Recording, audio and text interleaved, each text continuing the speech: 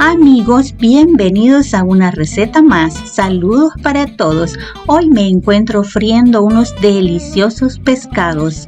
Esto lo voy a acompañar con unos elotitos amarillos bien herviditos.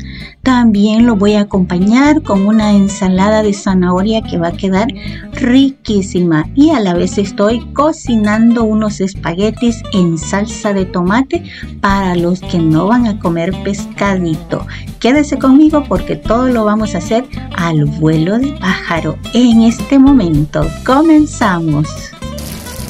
Como ya compré listo los pescados, solamente los lavé con limón y sal. Les puse suficiente aceite para que se doren bien deliciosos, para que queden bien ricos.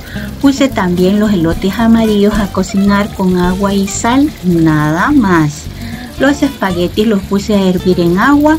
Ahora los tengo terminando de cocinarse en una salsa que lleva tomate, chile verde, cebolla, ajo, pimienta, cilantro, y consomé de pollo. Estos espaguetis están quedando bien deliciosos y es para aquellas personitas que no van a comer pescado. Ay, no saben de lo que se pierden porque ese pescadito está quedando bien delicioso.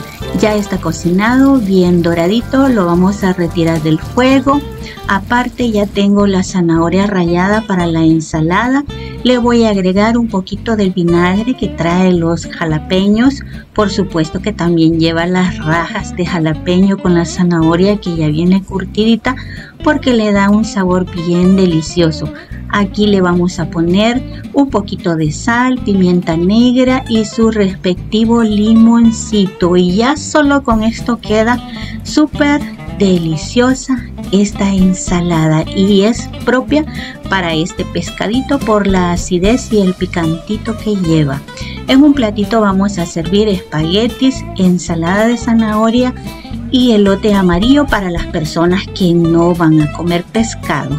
Y para los que sí, le ponemos su respectivo pescadito bien doradito, sus elotes amarillos y su ensaladita.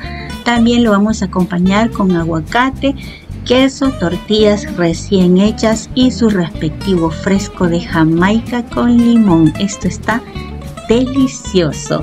Si les ha gustado este video, por favor regálenme un like, compartan, suscríbanse. Nos vemos en la próxima receta. Bendiciones para todos.